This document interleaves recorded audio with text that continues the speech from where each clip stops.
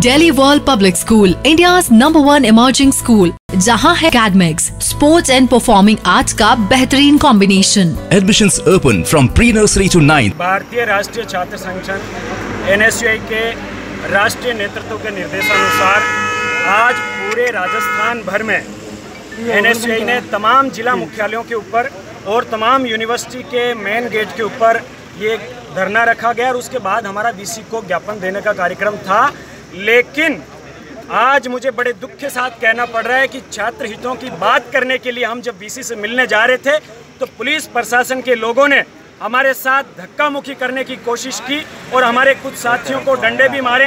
आप ये हालात देख सकते हैं कि किस प्रकार से उन्होंने हमारे कपड़े फाड़ दिए। हमें गिराने की कोशिश की हमारे डंडे मारे।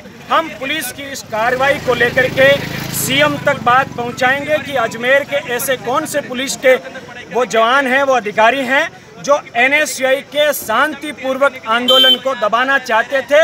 इसके अलावा कुछ आरएसएस के ऐसे प्रोफेसर भी यूनिवर्सिटी के अंदर हैं जिन्होंने हम जब वीसी साहब से शांतिपूर्वक रूप से वार्ता कर रहे थे छात्र हितों के लिए तो उन्होंने बीच में आकर के छात्र नेताओं को धक्का दिया ऐसे लोगों के ऊपर भी कार्रवाई करने के लिए उच्च शिक्षा मंत्री और माननीय मुख्यमंत्री से हम मुलाकात करेंगे। अगर आपकी मांगे पूरी नहीं होती तो किस तरह का आंदोलन मांगे पूरी नहीं होगी तो अगले हफ़्ते हम आंदोलन को तेज करेंगे चाहे हमें भूख हड़ताल पे बैठना पड़े चाहे यूनिवर्सिटी के ताला लगाना पड़े लेकिन हर हाल में हम राजस्थान के स्टूडेंट्स के स्वास्थ्य के साथ खिलवाड़ नहीं होने देंगे।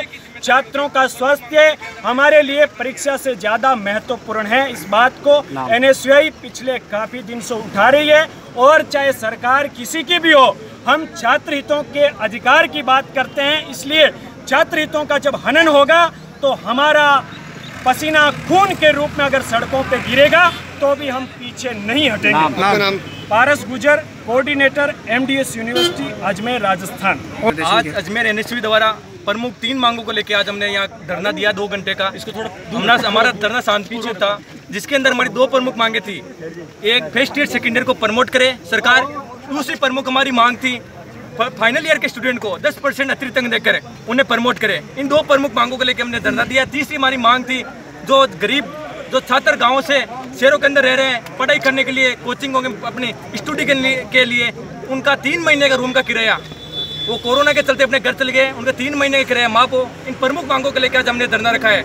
आज इस, इनको लेके हमने सर को ज्ञापन दिया है और हमारा, हमने मांग रखी है, अगर संडे तक हमारी ये मांगे नहीं मानी जाती है। तो उसके बाद सोमवार को एन एस अजमेर चाहे भूख हड़ताल पे बैठना पड़े चाहे हमें सड़कों पर आना पड़े छात्रों को छात्रों के लिए हम आएँगे उग्र से उग्र आंदोलन करेंगे और हमने वीसी सर को मांग रखी है। अगर आप एग्ज़ाम भी कराना चाहते हो तो प्रत्येक छात्र का पचास लाख का इंश्योरेंस आप करवाए फिर आप बेहिचक होकर एग्ज़ाम करवाए। और हमने एक मांग और रखी है अगर एक ऐसा सिस्टम होना चाहिए जिस प्रकार से दिल्ली के अंदर हुआ है कि जो छात्र एग्ज़ाम देने के इच्छुक है उनका रजिस्ट्रेशन करवा के, उनके एग्ज़ाम करवाए, और जो छात्र एग्ज़ाम के इच्छुक नहीं है, उसको प्रमोट किया जाए, और जो छात्र एग्ज़ाम चाहता है तो उसकी सभी की ज़िम्मेदारी होगी। अगर उसको कोरोना होता है तो उसकी सभी की ज़िम्मेदारी होगी। इन प्रमुख मांगों को लेकर आज हमने ज्ञापन पुलिस कर्मियों ने धक्का मुक्की भी की है। पुलिस प्रशासन ने बिल्कुल धक्का मुक्की की है। हम शांतिपूर्वक अपना ज्ञापन दे रहे थे। हम यहाँ कोई लड़ाई झगड़े के लिए नहीं आए हम शांतिपूर्वक हम तो गुरुओं गुरुओं का पुलिस प्रशासन का हमेशा सम्मान करता है। इसलिए आज हमने शांतिपूर्वक ये ज्ञापन देने आ रहे थे लेकिन पुलिस प्रशासन द्वारा धक्का मुक्की की जा रही थी जो एकदम बिल्कुल गलत है।